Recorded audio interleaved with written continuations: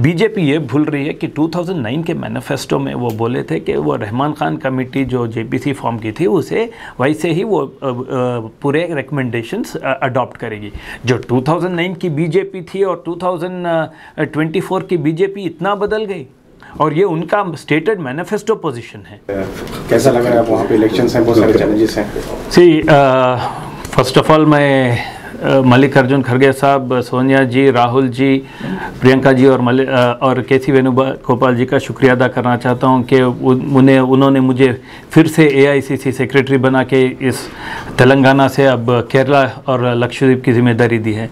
और अब केरला के वायनाड का लोकसभा इलेक्शन आएगा और दो बाई इलेक्शन आएँगे।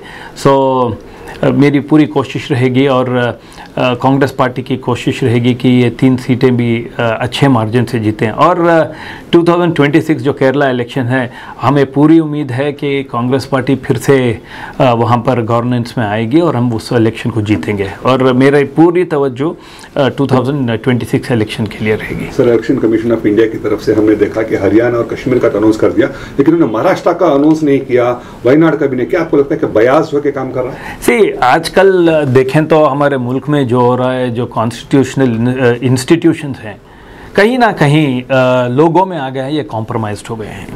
जब हरियाणा और महाराष्ट्र का इलेक्शन लास्ट टाइम साथ साथ हुआ, ये बार कहना कि महाराष्ट्र में बारिश है, ये है, सो सबको पता है लास्ट टाइम भी वही टाइम था, वही ये था। सो कहीं ना कहीं इलेक्शन कमीशन की फेयरनेस और इलेक्शन कमीशन की इंडिपेंडेंस भी देखना पड़ेगा, क्योंकि जब चाहे बीजेपी के रिक्वेस्ट पे डेट चेंज हो जाता है इलेक्शन का और एक लोगों में दिखता है और एक एटमॉस्फेयर ऐसा हो गया कि fairness of election commission is questionable और ये अब इलेक्शन कमीशन पे है वो कैसा अपना रेपुटेशन वापस लेके आएँगे बट ये तो एक अ, महाराष्ट्र और हरियाणा मेरे हिसाब से साथ साथ चलने का इलेक्शन था। इलेक्शन कमीशन डिफर किया है इलेक्शन महाराष्ट्र। सर ये वक्फ अमेंडमेंट बिल के ताल्लुक से जिस तरह से मुहिम चल रही है और जो ईमेल भेज रहे हैं दो लाखों में, कोई कहता है कि 20 लाख भेजे हैं, इसमें कितनी सच्चाई है? क्या जेपीसी ईमेल को कंसिडर करेगी या नहीं करेगी?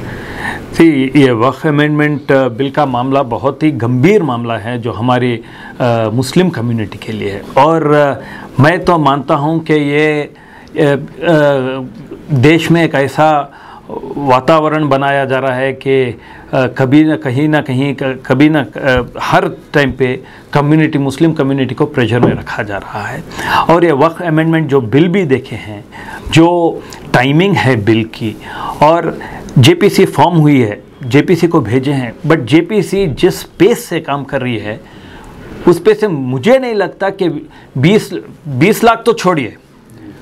पाँच लाख ईमेल्स भी है तो इतना बिकॉज़ अगर आप इतने मेरे हिसाब से ये इतनी अहम बिल है, क्योंकि